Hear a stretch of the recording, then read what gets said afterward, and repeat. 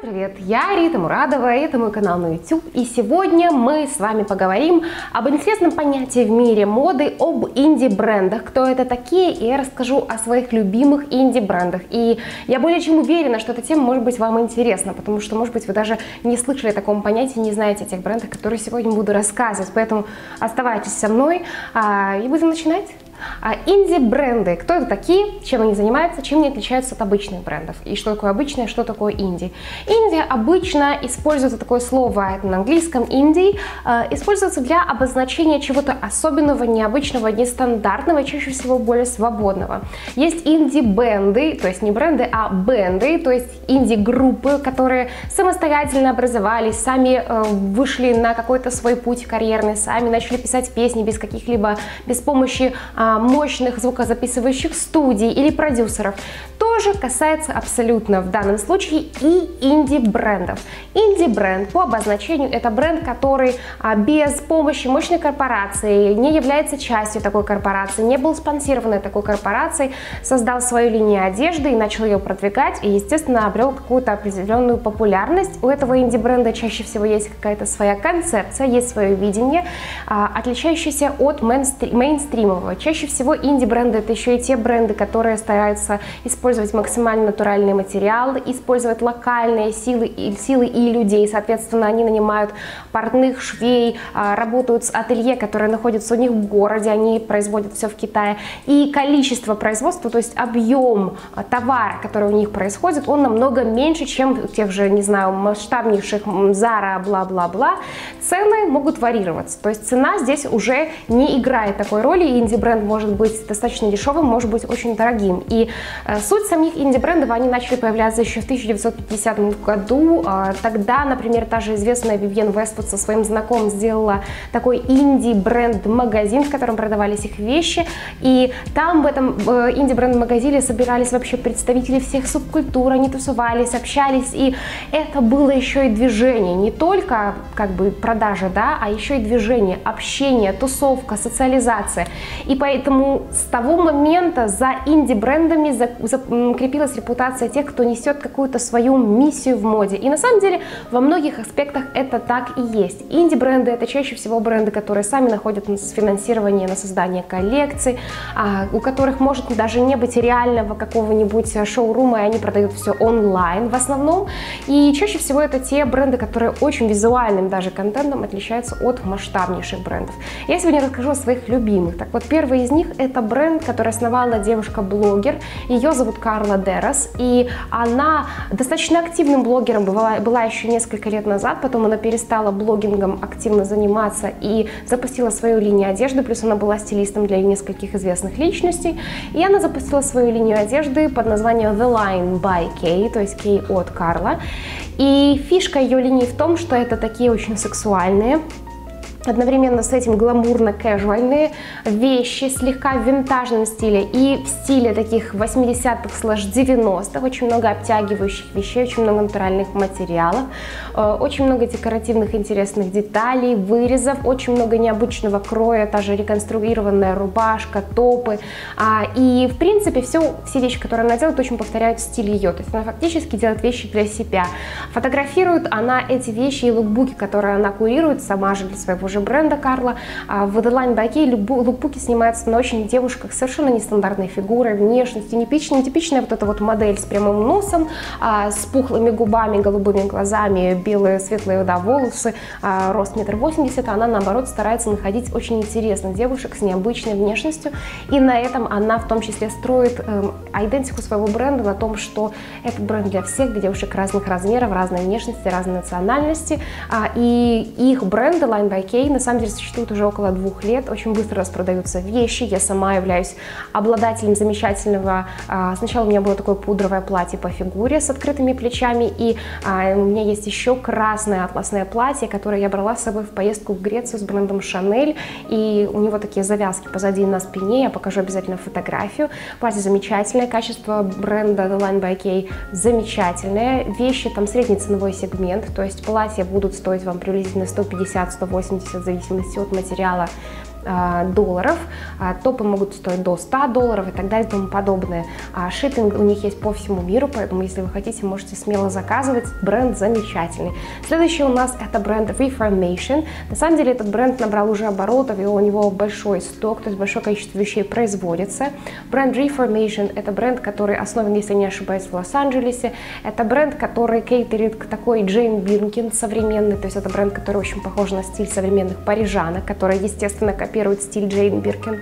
А, это бренд, который а, старается использовать максимально натуральные материалы, recyclable материалы, которые можно а, перерабатывать.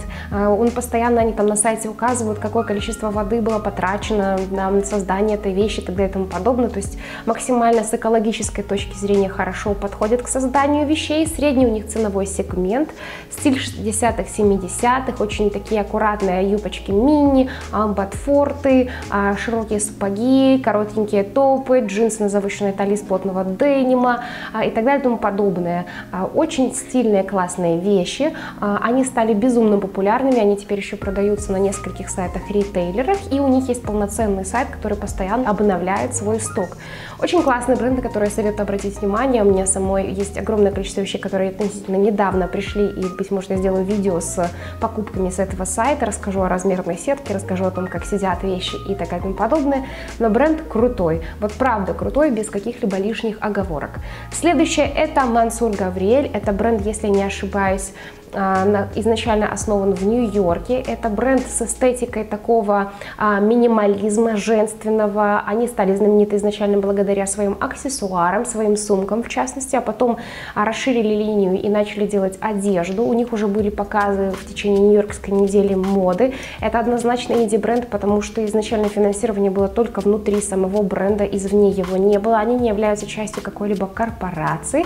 И тем не менее, за краткий достаточно срок своего существования компании, они уже сделали такие а, ит вещи, как сумки, у них есть несколько сумок, которые супер популярны, и очень многие девочки владеют ими, эти сумки, и бренд сам Мансур Гавриэль заслужил признание ритейлера того же Нета Портеса, одного из самых масштабных, и они продаются там.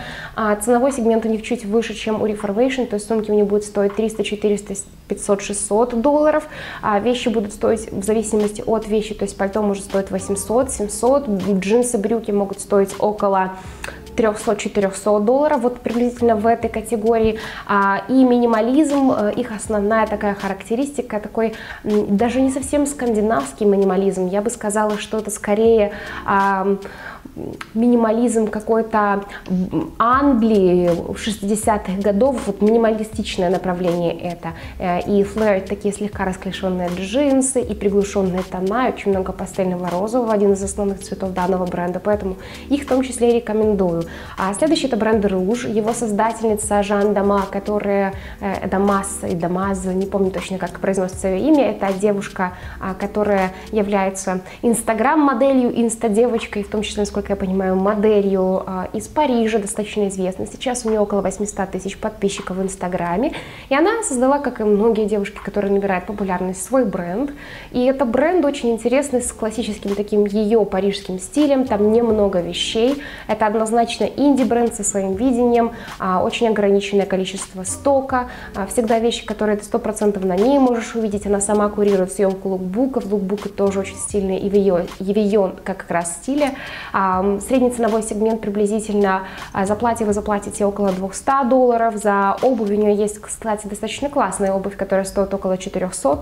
И вот приблизительно в этом а, ценовом сегменте можно себе понимать, они работают. Хороший бренд, небольшой сток, а, есть аккаунт в Инстаграме, все как нужно, есть сайт, доставляют не по всему миру, насколько я помню, но доставка в несколько основных стран точно присутствует. А, следующий это бренд аксессуаров в основном, ну и одежда, но самая основная точка это аксессуары и французский, опять же, Амели Пришар. Это бренд, который знаменит своими интересными, слегка винтажными сумками. И вообще винтаж сейчас очень в моде. И одна из сумок последних, которая мне очень приглянулась, это такая под кожу крокодилью э, зеленая с ручкой, которая очень похожа на ручку от сумки Габриэлы Хирст. И Амели Пришар это тоже достаточно такой инди, маленький, э, внутри работающий бренд со своим э, бюджетом, без каких-либо финансовых вливаний из других масштабных компаний. А, средний ценовой сегмент за сумку вы заплатите приблизительно 400-500 долларов, и все очень в таком типичном парижском стиле. Следующее это бренд Totem. Totem это бренд, который был анслован а, девушка изначально блогером, она достаточно давно была блогером, ее зовут Эллен Клинк, и она очень долго вела свой блог и в дальнейшем создала свой бренд. Это, кстати, очень частый путь развития многих блогеров, если посмотреть, на какую-то степь другую уходит, которая приносит а, отстраненную прибыль, то есть, условно, ты создал да, коллекцию, она потом приносит прибыль, несмотря на твое неактивное участие в продажах. И это один из путей, кстати, собственно, развития финансового определенного человека, который в медиа находится, так и Киара Феррани поступила, так, видите, поступила и девушка Жан Дамас с брендом Руж, и многие так делают. Это, в принципе, достаточно правильный, хороший путь. Эллен Клинг уже не ведет свой блог, и бренд Тотем это ее основное детище. И Тотем это смесь такого скандинавского минимализма с таким чистым, даже слегка японской ноткой минимализма, а, очень нейтральные оттенки, очень много однотонных вещей, очень классические силуэты, очень напоминает Селин, ценовой сегмент намного меньше Селин, но в среднем за пальто вы отдадите приблизительно 800 долларов, за топ или за блузу вы отдадите приблизительно 200-300, вот приблизительно вот в таком сегменте можно об этом думать. А, и последний бренд, о котором я сегодня с вами хотела бы поговорить, и все себе записала здесь, это бренд, который называется Realization Par, это бренд, который основан был изначально в Лос-Анджелесе, а, и вообще, насколько я помню, он звучит изначально Realization Par, а, это французский, styled by, переводится как стилизован кем-то конкретно. А, и это бренд, который известен уже, мне кажется, практически на весь мир, на весь, по крайней мере, активно социальный мир, благодаря своим платьям на запах, совершенно разным, которые были уже на большинстве It Girls этого мира. И это тот бренд, который теперь, естественно, уже невозможно его назвать совершенно инди-брендом, но начинали они как инди-бренд со своей стилистикой, они до сих пор а, делают свои съемки, сами ими руководят, они до сих пор не продаются на других сайтах, кроме своего. И это, кстати, достаточно часто с инди-брендами происходит. Очень мало инди-брендов в результате на другие сайты выходят, потому что как только ты выходишь на другой сайт, как, как только ты а, выходишь на ритейлера, у тебя есть определенные условия, цели по продажам и так далее и тому подобное. Когда у тебя есть свой сайт и свое направление, направление и финансовый поток, то тебе этого всего не нужно. И, а, в принципе, стилистика реализации пар – это а, такие платья на запах легкие, шифоновые. У меня уже есть парочка, которые я вам в ближайшем видео покажу. А, это это очень такие женственные, интересные принты. Есть платье миди, есть платье мини. А, очень много сексуальности в самом бренде, такой французской сексуальности, смешанной со стилем такой сексуальности 90-х, я бы сказала. Классный средний ценовой сегмент приблизительно за платье вы дадите около 200 долларов плюс-минус. А вот в этом направлении можно мыслить. А, на территории Украины в том числе есть сейчас много инди-брендов, э, о которых я бы вот с радостью вам рассказала. Один из них, например, это бренд, который называется Кати Моклоус, девушка, которая которая стартовала, ее зовут Катя, а, и бренд, который она создала, это бренд, который стартовал с 500 гривен ее было, и она вот с этого начинала свой бренд. Поэтому то, что, чего она добилась сейчас, замечательно. У меня есть ее много вещей, в том числе недавно в Инстаграме я освещала свой клетчатый жакет, который все влюбились, начали писать, что это за жакет. У нее целый костюм, на самом деле, есть этот клетчатый, брючный, поэтому очень советую обратить внимание. А, и у нее уже есть шоурум, а начиналось все это с небольшого такого полуподвального, или точнее подвального помещения с отделенной одной ширмочкой студии, где э, сам процесс шитья был. Сейчас уже классно, офигенно в самом центре э, шоурум, стильный, со своим видением. Она создает вещи очень крутые, немного в стиле Баленсиага, немного в стиле Селин. Вот такой вот микс интересный. Очень советую обратить внимание. А, пишите, пожалуйста, в комментариях, э, какие инди интересные инди-бренды из вашего города, вашей страны вы знаете, какие бренды мировые инди вы знаете, хотели бы поделиться. Я очень люблю открывать для себя новые бренды и вообще интересно узнать ваше мнение мнение. А на сегодня это все. Я надеюсь, это видео вам понравилось. Надеюсь, оно было для вас полезным. А вам классного, крутого, вдохновенного, легкого вашего дня.